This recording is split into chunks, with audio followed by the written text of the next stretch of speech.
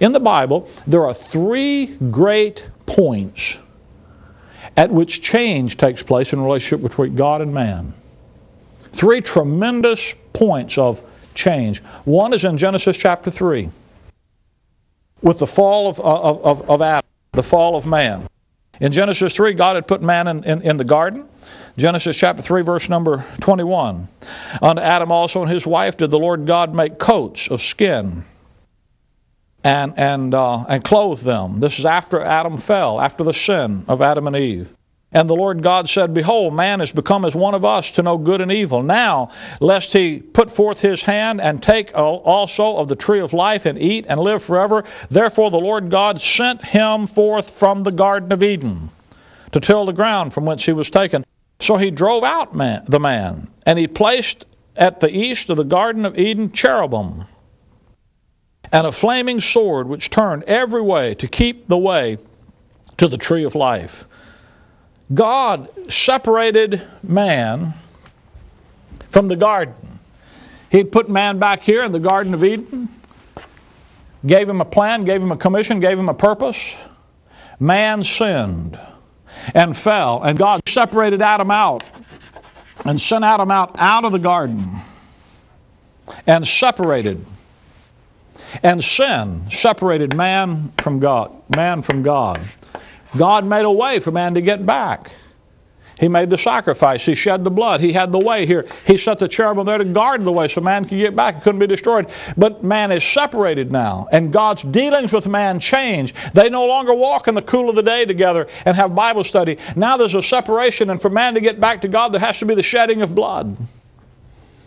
And there has to be the approach of faith in that blood. So there's a difference. Man goes along here for a while, and you know the, the story we just read a moment ago in Genesis chapter number uh, uh, 6 uh, about, about, the, about, about the, the flood and so forth with, with Noah there. And he puts man back on the earth over here, and God continues to deal with man until you come to Genesis chapter number 11. And there, there in Genesis 11 is the Tower of Babel. And man, after having corrupted the earth and having had an opportunity again to have him, himself established in the earth, in Genesis chapter 11, God comes down and sees that, that man is uh, again uh, rebelling against him, and God scatters man in the earth. And he takes, he takes the nations of the earth, and back here, the fall of man, man is separated. Now, the nations of the earth are separated. And, and you have come along what's called Gentiles, because what God does is He separates out from the Gentile nations one family Abraham, the circumcision. Romans chapter number 1, the Apostle Paul talks about it like this Romans chapter number 1. When Paul talks about the, the scattering of the nations, just like he separated man out here, he's going to separate a nation out from the nations. Romans chapter 1, verse 18 describes it like this. For the wrath of God was revealed from heaven against all ungodliness and unrighteousness of man who hold the truth and un, uh, who hold the truth in unrighteousness, because that which may be known of God was manifest in them, for, for they for God has showed it unto them. For the invisible things of Him from the creation of the world are clearly seen, being understood by the things that are made, even His eternal power and Godhead, so that they're without excuse.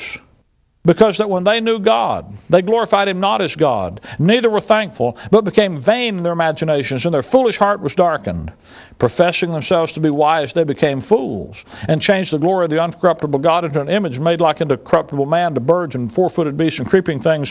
Wherefore God also gave them up. See that? Verse 26 For this cause God gave them up. Verse 28 even as they did not like to retain God in their knowledge, God gave them over to a reprobate mind to do those things which were not convenient. What did God do? In response to man's rejection of God and man's rebellion against God and man's insistence to go, upon, go on his own way, God just said, okay, you want to go your way, have at it. And God gave man up. In Acts chapter number 14, Paul talks about it like this. Acts 14, verse number 15. Sirs, why do you these things? We also are men of like passions with you, and preach unto you that you should turn to, from these vanities unto the living God, who made heaven and earth and the sea and all things that in them is, who in time past